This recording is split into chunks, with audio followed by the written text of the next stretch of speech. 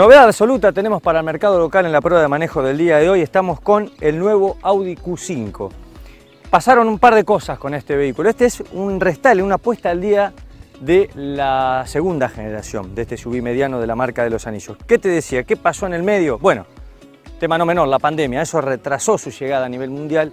Y por otro lado, lo vimos en las acciones de verano del stand de Cariló, como uno de los lanzamientos para este año. Por supuesto, la lógica, las cuestiones de nuestro mercado, todos los impedimentos, también lleva a que tenga su propio retraso aquí en la Argentina. Así que ahora, esto es novedad, por eso te digo recién, la gente de Audi Argentina está empezando a prestar y nosotros tenemos la fortuna de poder empezar a manejar este vehículo. Que a ver, recibió algunos cambios, es un leve rediseño estético, pero lo más importante es lo que está acá debajo. ¿Por qué? porque estamos hablando de una mecánica My Hybrid, estas, estos pequeños aportes o apoyos eléctricos a los motores de combustión. A ver, vamos a empezar a ordenarnos. Esta versión se llama Advanced, ¿eh? por debajo hay una versión que se llama Off-Road. En este caso tenemos la Advanced que tiene la denominación 45 TFSI. Vos recordás que desde hace un tiempo Audi empezó a usar nomenclaturas de acuerdo a las potencias. Bueno, a esta por sus valores de potencia le toca el número 45. ¿Y por qué? Porque es un motor 2 litros, 4 cilindros de 245 caballos de potencia. Hablemos entonces de esta puesta en día en diseño. Hablamos de una parrilla que es un poco más tridimensional, con un formato un poco más ancha, se la ve como más robusta. También un, poco la línea, la firma lumínica se, acomodó un poquito. Digamos, estas entradas con esta, esta especie de, digamos, de adorno también se hizo como un poco más, más alto.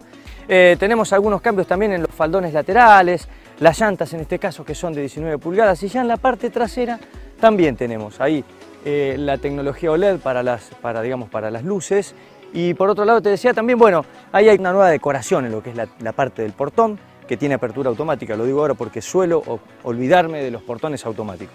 Y por otro lado te iba a decir, bueno, eh, en, los bajos tiene estas, digamos, estas especies de defensas en color plata, en color cromo, y en este caso tenemos, hay otras versiones, que inclusive que no están en nuestro mercado, que tienen tipo panal de abeja. En este caso esta Advance tiene las barras verticales. Así que con estos incrementos, con este poquito de Botox que le pusieron, creció un poquitito. Mira, mide 4,68 metros de largo total. Son menos de 2 centímetros de largo y la distancia entre ejes apenas creció unos 3 milímetros, con lo cual ni siquiera vale la pena mencionar que hizo un gran cambio en lo que es la virabilidad. Así que esa es la parte exterior, lo que te quería contar de esta renovación del Audi Q5. Bueno, y por dentro, a ver, también los cambios son sutiles, siempre un Audi es elegante, discreto, de afuera lo veíamos moderno, sofisticado, bien plantado, pero que no llama poderosamente la atención. Hay algunos cambios, eh, se hace todo más minimalista con el paso del tiempo, se empiezan a perder botones, comandos, y bueno, eh, algunos son más amigables de eso, otros no tanto. A veces está bueno y a veces no está tan bueno. Pero bueno, en este caso se las ingeniaron bien. Mirá, en esta pantalla multimedia de 10,1 pulgadas eh, está es tercera generación, es una, es una interfaz que es 10 veces más potente y más rápida que la anterior eh, y que perdió básicamente todo lo, es todo táctil, no, tiene teclas, se puede comandar por voz o se puede directamente, por supuesto, con el dedo, pero este, no tiene nada. ¿Y qué pasó ahí? Y ahí voy con el juego del minimalismo. Perdió el comando giratorio que tenía para el multimedio, que estaba generalmente ubicado aquí en la consola central, con lo cual eh, todo ahora sí radica directamente ahí. Y lo bueno, el caso de la emergencia de tener que subir o bajar el volumen, sí, quedó la perilla física cómoda acá, la típica rodita, que es lo más clásico que podemos encontrar dentro de este audio, que tiene una muy buena calidad, que tiene materiales soft, eh, que cuando vos lo tocas así se hunden, que está bien, que tiene linda presentación, con buen cuero ecológico, mucho metal, mucho metal en diferentes tonos, un poco más pulido, un poco menos pulido, pero está todo muy bien y no se sale de esa lógica de discreción que tiene la casa de Ingolstadt. A ver, me, voy, eh, me quedo un ratito más acá y después vengo a la posición de manejo. Te decía, menús renovados que también son muy intuitivos, es muy fácil de manejar, bueno, se asocia con Apple, con Android, tiene cámara de retroceso, tiene navegador nativo, está acá, no hay que asociarlo con ningún celular, realmente eso está, está muy bien y te decía, es fácil de manejar y es intuitivo. Bueno, y de acá tenés diferentes ajustes y reglajes del vehículo, por supuesto, así que eh, está muy bien y tiene muchísima cuestión, eh, digamos, configurable aquí dentro nos metemos en lo que es la posición de manejo. Excelente, inmejorable, óptima. ¿Por qué? Porque las butacas son deportivas, tienen muy generosos pétalos, tanto en los laterales como en las, digamos, en las piernas. Tienen estos extensores que recién hablamos con Gaspar, que quieras o no, cuando corren los kilómetros, eh, llega un momento que por ahí se te cansan. Yo no tengo piernas largas, pero las personas de piernas más largas por ahí empiezan a sufrir esa falta de sustento. Entonces con estos, con estos lindos extensores vos podés tener eh, ese, digamos, esa ayuda para cuando vas un poco más cansado. Tenemos por delante entonces un volante que tiene una excelente regulación en altura y en profundidad, la verdad que esto es impresionante. Butaca completamente eléctrica también, eh, que la tenemos aquí, así que en ese sentido la vamos a encontrar de manera inmediata. Y enfrente tenemos un, digamos, un tablero, un instrumental también configurable de excelente visualización, 12,3 pulgadas, con muchísima información también Inclusive podés poner en el tamaño de mayor prioridad la, la, información que vayas queriendo ver en ese momento. Así que bueno, levas al volante para esta muy buena caja automática de 7 velocidades, las teclas para el volante, ves que ni siquiera el volante está cargado de teclas. ¿eh? Es decir que eh, eh, se fueron haciendo estudios como que achicando botones, sacando comandos, la vida a bordo también puede ser una muy buena experiencia. Bueno, botón de arranque, climatizador bisona, tiene, este sistema tiene start-stop, es decir, que, que, detiene el motor en los momentos que no es necesario que esté funcionando, cuando se detiene un semáforo y hay algunas cuestiones que tiene que estar ahí hibernando, bueno, todo eso ayuda a que el consumo se contenga. Pero ya nos vamos a meter con la parte mecánica. Acá tiene control de estabilidad que se puede desactivar, de descenso, eh, los sensores delanteros y traseros y tiene el sistema de manejo, el Drive Select, que también te permite ir en diferentes modos, de, por ejemplo, Efficiency, Dynamic, eh, Off-Road y demás. Bueno, es como que va seteando parámetros de aceleración, de dirección, de suspensión, así que toda esa conjunción hay un enano súper inteligente ahí adentro que lo que hace es acomodarte el vehículo de acuerdo a la cuestión. Así que bueno, enorme techo panorámico, atrás muy bien, digamos, está bien para lo que es la media del segmento, dos personas van, se van a acomodar muy bien, si tienen metro ochenta, inclusive no van a tener ni siquiera problema con la caída del techo. Así todo tiene la tecnología del techo panorámico que siempre roba un poco de distancia al techo convencional, que no tiene ningún tipo de sistema, y así todo va realmente muy bien. El que no la va a pasar de todo bien, por eso es aconsejable que sea uno más pequeño, es el que va en la plaza central, porque tiene un túnel enorme, ¿eh? altísimo, casi a la altura de esta consola, con lo cual eso siempre molesta, sobre todo bueno, para la comodidad, si los del costado tienen piernas que van un poco más a lo ancho, bueno, no van a ir tan cómodos. en el baúl tenemos 550 litros de capacidad y como esas plazas se pueden tener un cierto desplazamiento, bueno, tenés ahí, este, lo podés aumentar un poco más de 1500 litros. Debajo del piso, muy bien presentado, con una boca de carga alta, bien cómoda, te había dicho que podés acceder de manera automática, hay un auxilio de tipo temporal. Las titulares son de 19, esas 18 con la medida del neumático diferente, así que bueno.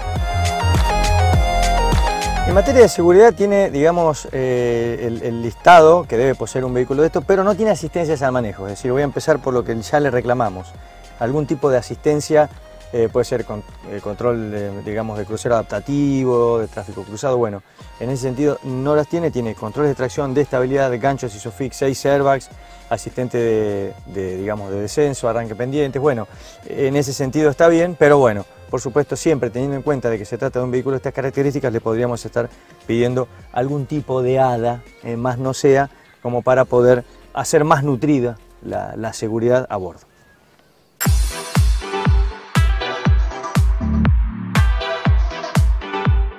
Volvemos entonces a la mecánica, este MHEV, que es el sistema MyHybrid que tiene este Audi Q5, que es el intermedio que tiene la marca alemana hasta llegar a los e-tron 100% eléctricos. Recordad que es un híbrido que no se va a hacer cargo en la parte eléctrica de, digamos, de la propulsión. Lo que hace es poder ayudar a darle un plus, a aumentar el torque, a darle más energía al motor naftero y a, su vez, como tiene un alternador, puede recargar energía que se manda, se manda a las baterías de iones de litio y por debajo de los 22 kilómetros enciende el sistema Start Stop. Lo que hace es poner a hibernar al motor naftero. Es imperceptible cuando eh, se pone, digamos, a descansar ese motor. Inclusive cuando se vuelve a activar, prácticamente ni lo notas. Entonces, eh, por momento vas a ver que en el tacómetro no tiene ningún tipo de información y te vas desplazando. Entonces por ahí es como que uno se empieza a familiarizar con este tipo de vehículos. Este conjunto mecánico se compone de un motor naftero de 4 cilindros y de 245 caballos de potencia. Son algunos caballos menos que la edición anterior de este motor en Q5.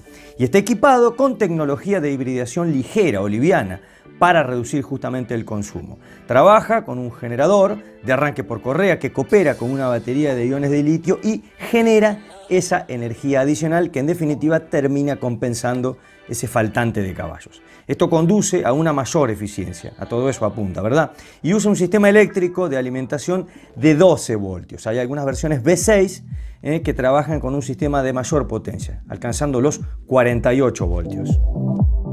Entonces recarga, ayuda, en, línea general la marca oficialmente dice que reduce hasta 0,3 litros cada 100 kilómetros eh, de, digamos, de combustible. Así que bueno, eso como para tener en cuenta. Eh, caja automática de 7 velocidades con muy buenas levas al volante que hace un trabajo maravilloso por escalonamiento, por velocidad y también por suavidad.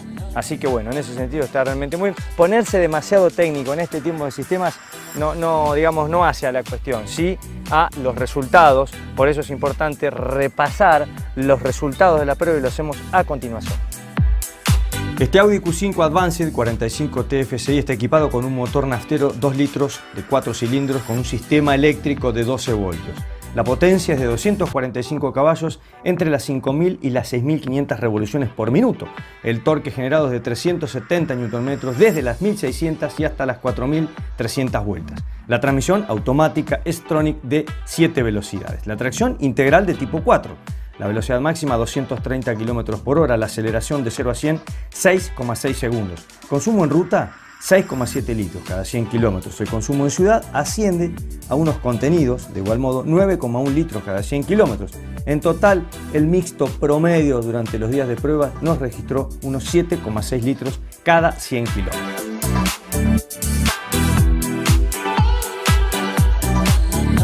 Vamos a hablar de comportamiento. Yo te decía recién lo rico y lo jugoso hablar de esta experiencia de manejar este tipo de vehículos con estas nuevas tecnologías. Eh, y bueno, te contaba esto de, lo que significa que, que, no te das cuenta de los acoples, los desacoples, que va funcionando con el tren delantero y con momento cuando le pedís de manera inmediata, de manera inmediata entra en funcionamiento el porque tiene sistema de tracción 4, eh, típico de, de la marca alemana. Así que bueno, pasamos al comportamiento dinámico. Como no hubo cambios ni mecánicos ni de chasis, tiene, mantiene el muy bueno y sólido comportamiento que ya tenía la que probamos la edición anterior. Bueno, los generosos cauchos, la excelente dirección, que tiene una, asistencia notable, que tiene muy buen tacto, que es muy precisa, muy directa, que es muy livianita en ciudad para hacer maniobras, para estacionar, que realmente muy pero muy interesante y que se va endureciendo, se va poniendo firme a medida que aumentan los kilómetros y te transmite mucha seguridad. A ver, aplomado el comportamiento, eh, muy bueno el sistema de suspensión, eh, absorbe muy bien las imperfecciones, va bien apoyado en todo momento. A ver, andar en líneas generales como andar en una 4 con todo lo óptimo que tiene con su funcionamiento, pero con más despeje. Y por supuesto con otra carrocería, pero es como para que vos tengas una idea, esa es la sensación que a mí me ha dado. Así que bueno, en ese sentido tenemos un vehículo que hace todo lo que le pedís, que no te sale con ningún martes 13 como decíamos en el campo y que por supuesto eh, la prioridad la tiene el confort de marcha. Tiene muy buena estabilidad a altas velocidades y las curvas tiene pocas inclinaciones, con lo cual ese buen apoyo, ese buen agarre hace que la experiencia, reitero, sea realmente muy pero muy positiva. Así que bueno, de este modo empezamos a finalizar esta prueba de manejo con este nuevo Audi Q5. vamos a hablar, a ver, de los precios. Esta te decía es la versión Advance que está de lista 94.590 dólares. Con los opcionales se va a 96.000 dólares.